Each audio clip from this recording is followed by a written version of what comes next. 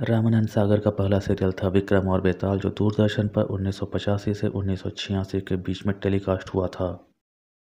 अगला सीरियल है दादादी की कहानियाँ, जो दूरदर्शन चैनल पर 1986 से सतासी के बीच में प्रसारित हुआ था।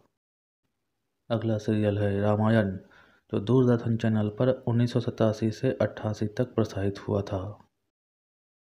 अगला सीरियल है उत्तर रामायण दूरदर्शन चैनल पर 1988 से नवासी तक प्रसारित हुआ था।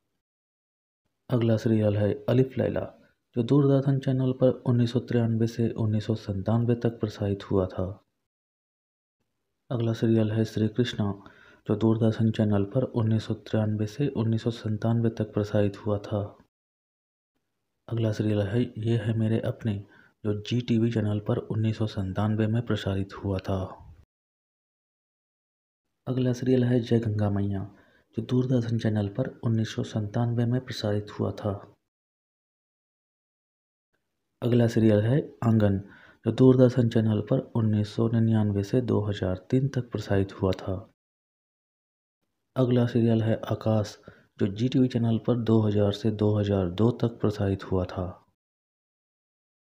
अगला सीरियल है श्री ब्रह्मा विष्णु महेश जो सब टीवी चैनल पर 2000 से 2001 तक प्रसारित हुआ था। अगला सीरियल है जय महालक्ष्मी, जो दूरदर्शन चैनल पर 2000 से 2001 तक प्रसारित हुआ था। अगला सीरियल है चिंगारी, जो जी टीवी चैनल पर 2001 में प्रसारित हुआ था। अगला सीरियल है संसार, जो जी टीवी चैनल पर 2001 से 2002 तक प्रसारित हुआ था। अगला सीरियल है जय जय जय त्रिदेव, जो जी टीवी चैनल पर 2001 से 2002 तक प्रसारित हुआ था। अगला सीरियल है सांझी, जो जी टीवी चैनल पर पहली बार 2002 में प्रसारित हुआ था।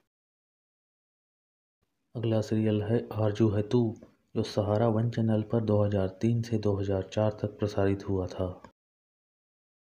अगला सीरियल है साईं बाबा जो स्टार प्लस चैनल पर 2005 से 2009 तक प्रसारित हुआ था।